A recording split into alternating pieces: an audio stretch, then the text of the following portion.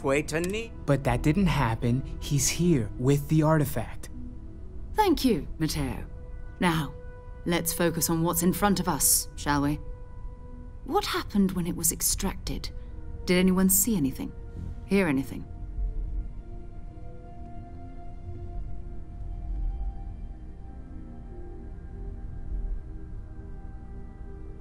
Interesting. Similar to Barrett's description of the experience, with less embellishment. There. Are you hearing this? Do you all believe me now? Whether it happened or not wasn't in doubt. But honestly, if you expect us to believe in fairy tales... If this is the greatest mystery in the universe, why couldn't it be part of the ultimate mystery? But gentlemen, can we please focus? Noel, I think it's time we tested your theory. Right. Let's see. We know the artifacts react to each other. The pieces we already have move when they're in close contact. Now, if we add this new one to the two we already have... The artifact. If you could place it on the table here.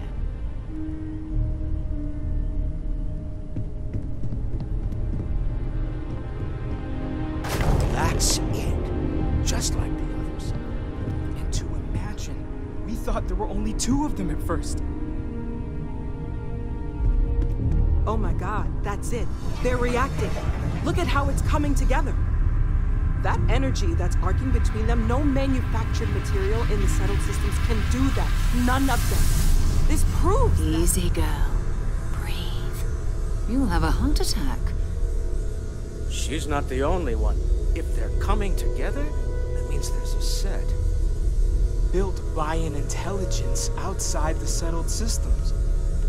Still 2,000 credits for our little wager, Godfrey? You're on, Walter. Well, if we had all the answers, it wouldn't be exciting. Now would it? Not to take away from the moment, but what are we going to do about our new friend here? So, are you ready to get to work? See if exploration is the life you want to lead in this little universe of ours?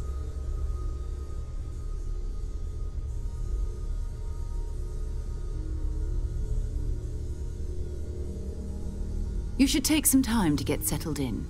Introduce yourself to everyone. Some of our members aren't here, but you'll meet them soon. Come find me when you're ready.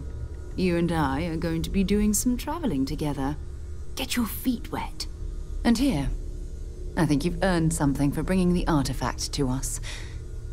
In addition to credits, why don't we set you up with a backpack with some boost capability? Hmm? You'll need it out in the field anyway. Just mind your head.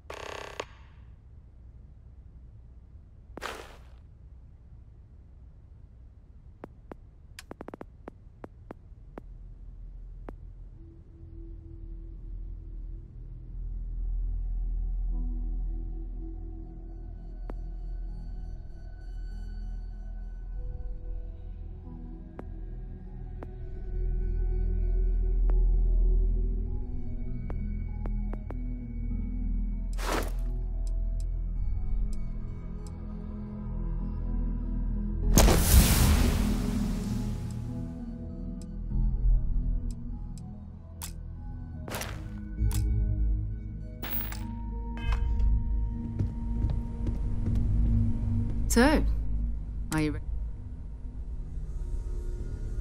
We're going to be doing some old-fashioned detect. That means people can pass them around, not even knowing what they are. I've been letting my contacts know to be on the lookout for strange metal objects. Get back.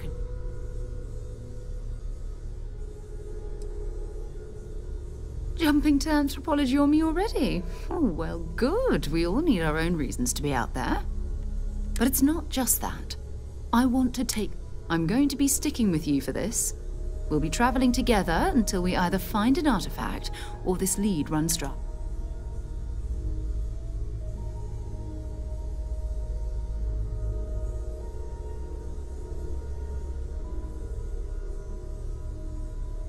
We'll need to head to Mast. And listen, whatever you were before, or whatever you do once you're out there, I don't care. So long as you don't bring UC security to our doorstep. Every member of Constellation is their own con-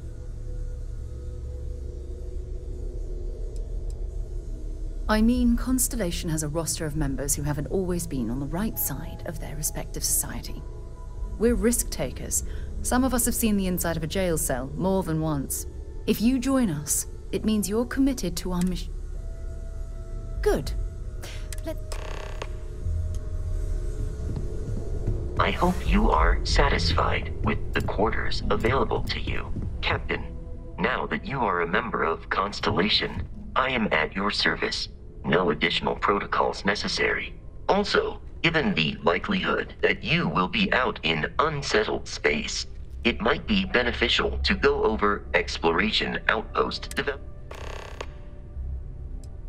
The exploration of an unknown planet can be a major undertaking. By building an outpost, it is even possible to set up multiple outposts capable of manufacturing, allowing you to build advanced equipment.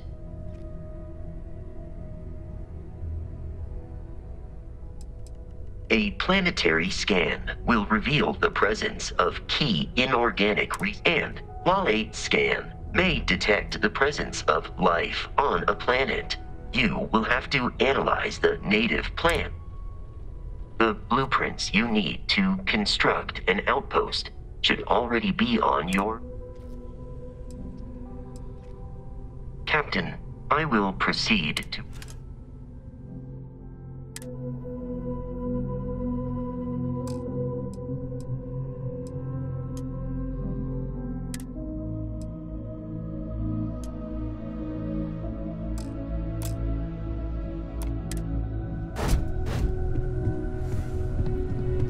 We need to talk to John Tuala in Mast. Maybe another time. It's you and me from here out. Okay.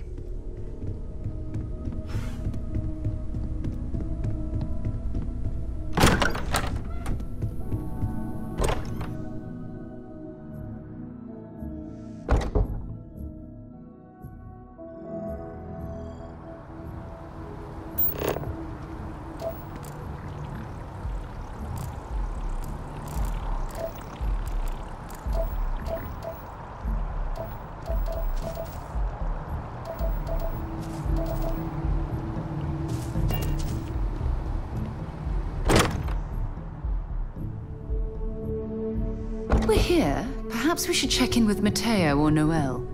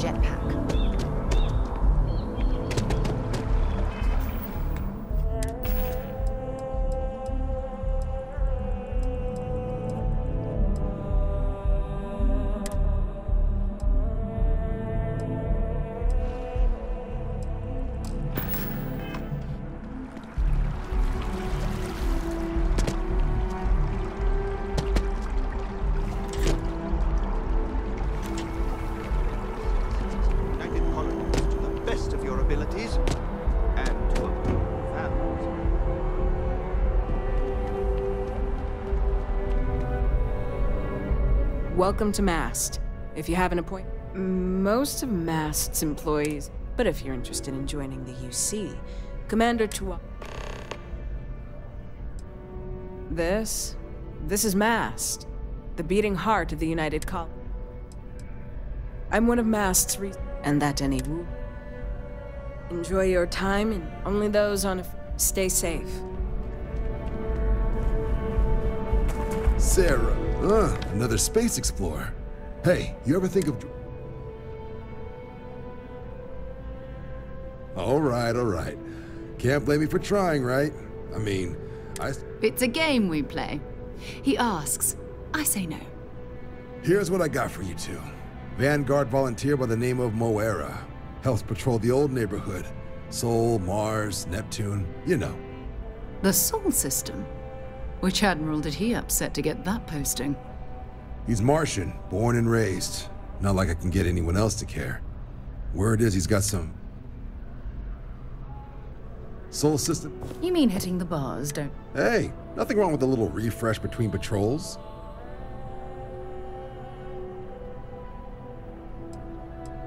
Anything for Sarah. UC always takes care of its own. Even the prodigal children. Oh, brother. I'm serious about that recruitment offer, by the way. You just come. Hey, Sarah's friend. Well, all right. Take the elevator down to the Vanguard Orientation Hall. You can just. And if you've got any question.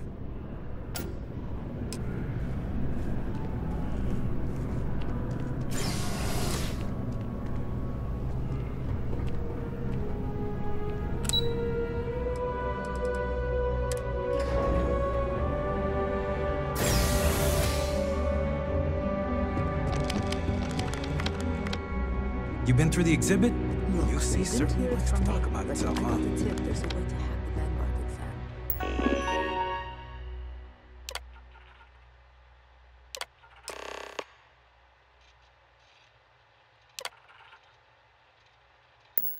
Registration accepted. You may now proceed through the historical displays in the orientation hall, or continue on to the examination. In 2150, humanity learned the Earth's magnetosphere would collapse sometime in the next half century, eliminating all life on the planet.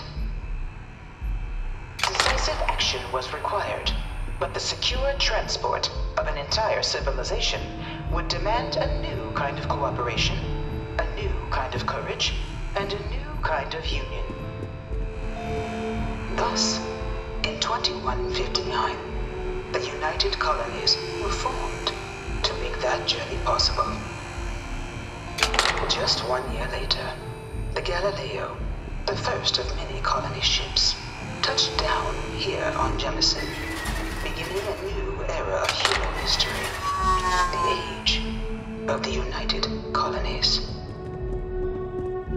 The effort and planning it must have taken to evacuate literally the From their foundation, the United Colonies strove to provide all their citizens with opportunity, security, and peace. But there were those among the UC that still wanted something more independence. So in 2161, the UC issued the Centaurus Proclamation, granting UC citizens the right to settle distant worlds and form their own sovereign powers. It wasn't long before the first new faction, the Freestar Collective, was formally organized in 2188, later followed by House Va'ruun, revealing themselves to the universe in 2213. Look, I'm not supposed to be giving opinions on this.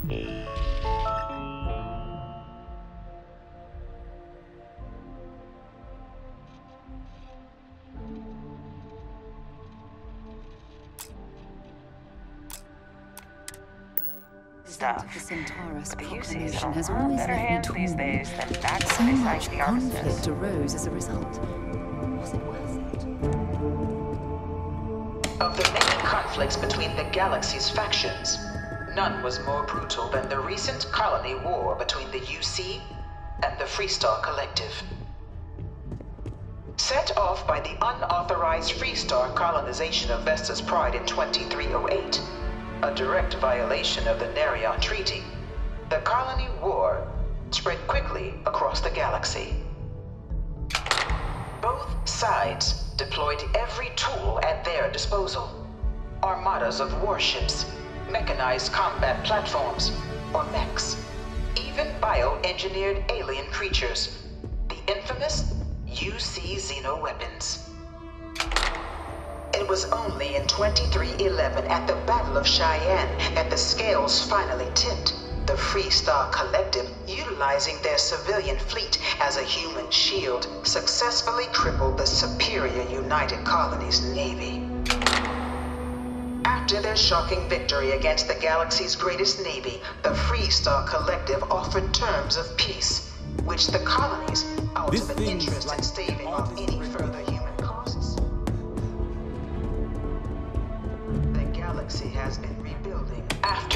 devastation wrought by the colony war. The UC and the Freestar Collective came together to ratify a treaty that became known as the Armistice. Both sides agreed to a vast reduction in standing forces, and that xeno weapons and mech warfare would be outlawed. All related research was sealed away, accessible only in cases of dire emergency. But the collective had another demand that the active commanders of the UC military stand trial for their actions. The United Colonies, in the interest of peace and galactic security, agreed. All four In of my last 2311,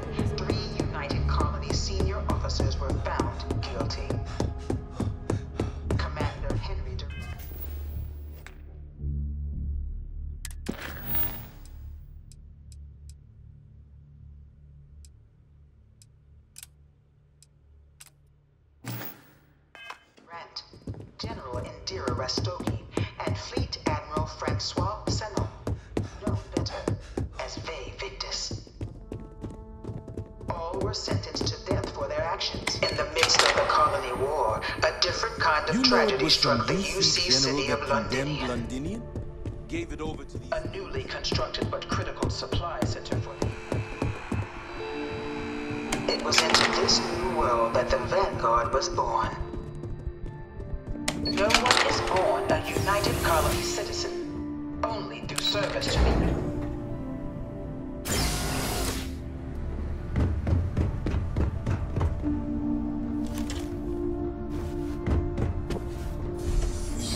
Welcome, applicant, to the piloting simulation chamber. I've spent a fair bit of time in simulators just like these. They're startlingly realistic. Have fun.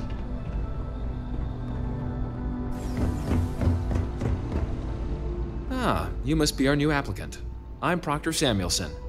The simulator's already been prepped. You can head in whenever you're ready.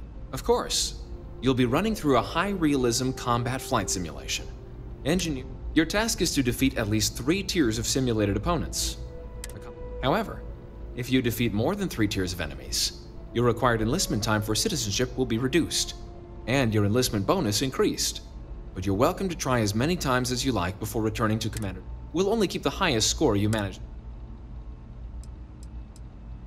The simulator is designed to be a near perfect replica of a Class B Demo. It's been tuned to provide a challenging but fair fight against the enemy squadrons you'll encounter inside. All right then.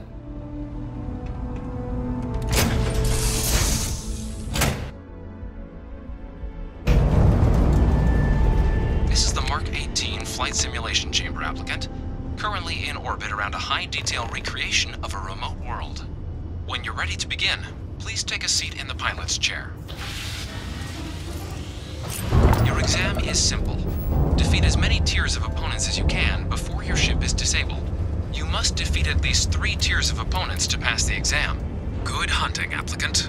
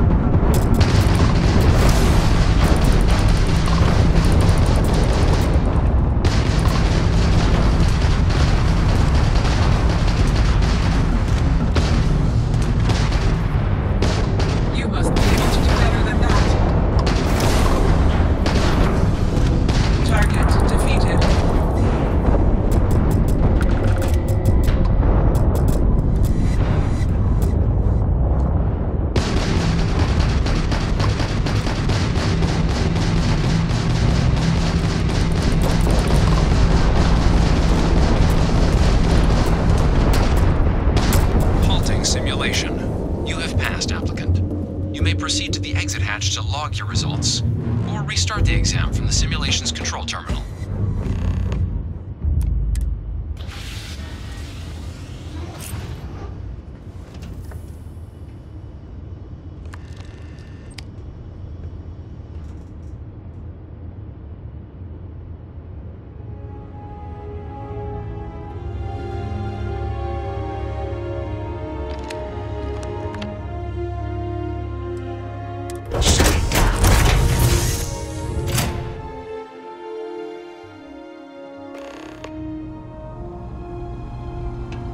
Congratulations, applicant. You've passed. You can head up to Commander Tuala to receive your final results and your probationary assignment. Or you're welcome to take another run at the simulation if you'd like to try and earn a better score. We'll only keep your best run.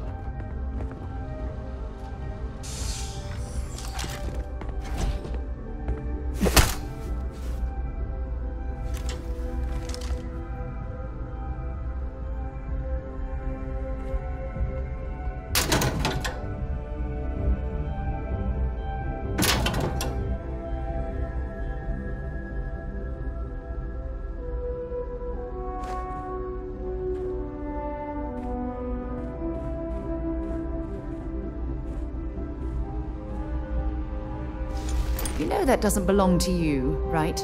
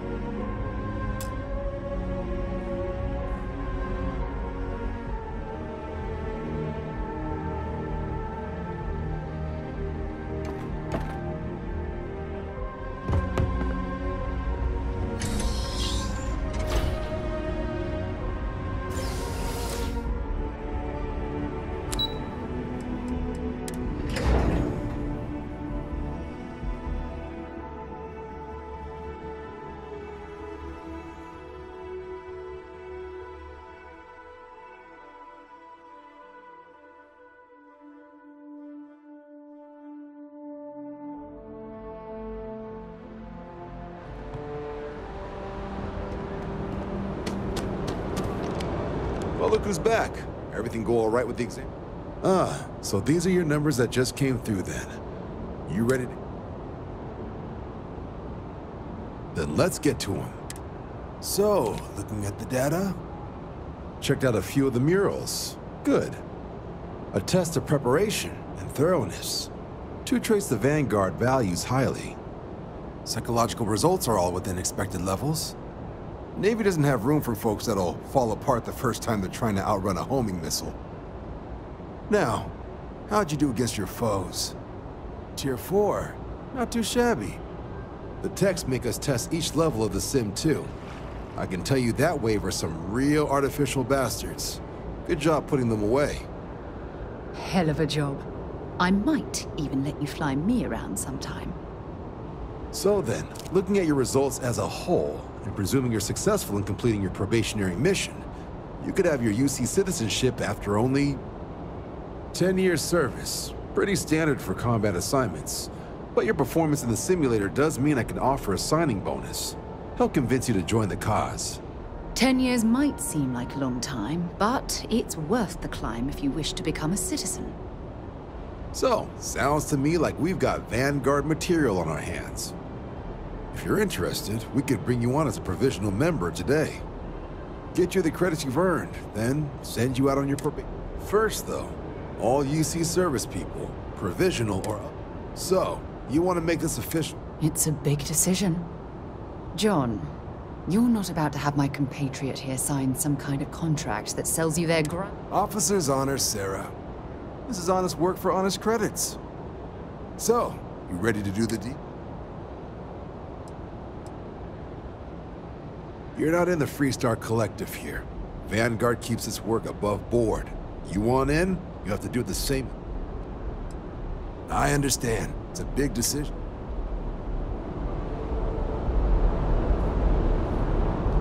By Vectera, by Vectera, by Vectera! I can't believe... Is it you? Is it really Captain of the Frontier? Bane of the... Then the day, but now that I know it's you... But I changed my routine. Fantastic! I think that makes us roommates by rule. Either way, it's such... Hey, uh, do you mind? What am I saying?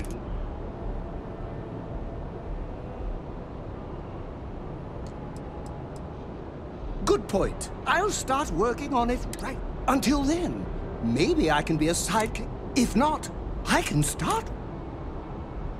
You won't be...